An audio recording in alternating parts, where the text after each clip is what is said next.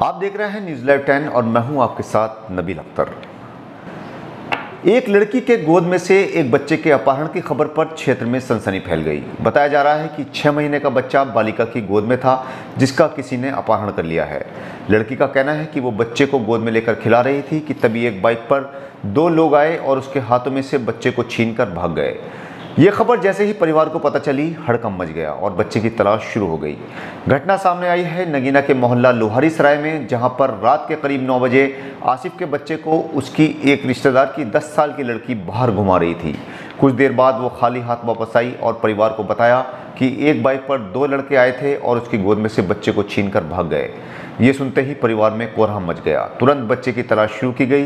Police को भी इसकी इतला दी गई। सीसीटीवी कैमरों की रिकॉर्डिंग खगाली गई, लेकिन ऐसा कोई भी संदिग्ध दिखाई नहीं दिया जो बच्चे को छीनकर भाग रहा हो। कुछ ही देर बाद बच्चा नाले में से मृत अवस्था में पड़ा हुआ मिल गया।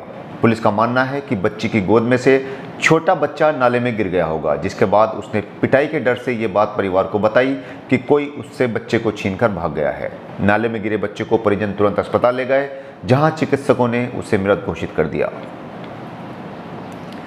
पिछड़ा वर्ग कल्याण विभाग और दिव्यांगजन सशक्तिकरण विभाग के स्वतंत्र प्रभारी राज्य मंत्री नरेंद्र कश्यप बिजनौर पहुँचे और यहाँ पर समीक्षा बैठक की गई। उन्होंने दिव्यांगों के बनाए जा रहे यूडीआईडी कार्ड की धीमी गति पर भी नाराज़गी ज़ाहिर की।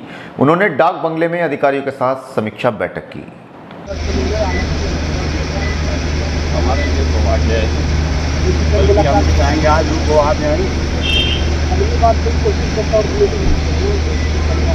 मेहनत करके मैं लाया हूँ वही जानता हूँ दो दो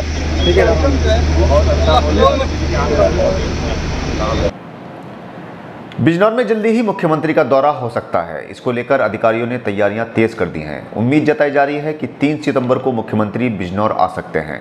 इसी को लेकर डीएम और एसपी ने नई पुलिस लाइन का निरीक्षण किया। माना जा रहा है कि सीएम योगी आदित्यनाथ नई पुलिस लाइन का लोकार्पण भी कर सकते हैं। हालाँकि इसकी अभी तक आधिकारिक पुष्टि नहीं हुई है। लेकिन उम्मीद जताई जा रही है कि तीन सितंबर को सीएम बिजनौर आ सकते हैं। भक्ति में लीन होकर एक युवक ने बिजनौर से बागेश्वर धाम बालाजी छतरपुर मध्य प्रदेश के लिए पैदल यात्रा शुरू की है। यात्रा करने वाला विक्रांत त्यागी 700 किलोमीटर पैदल यात्रा का मन बनाकर बालाजी के दर्शन करने के लिए निकल पड़ा है। मेरा नाम विक्रांत त्यागी है और लखो वाला जिला बिजनौर, उत्तर प्रदेश का मैं रहने वाला हूँ। लोक कल्याण के लिए समर्पित है मेरी यात्रा और बागेश्वर धाम जो मध्य प्रदेश छतरपुर ज़िले में स्थित है, मैं वहाँ तक यात्रा करूँगा। लगभग साढ़े छः सौ या सात सौ किलोमीटर की यात्रा होगी, जो मैं पैदल करूँगा।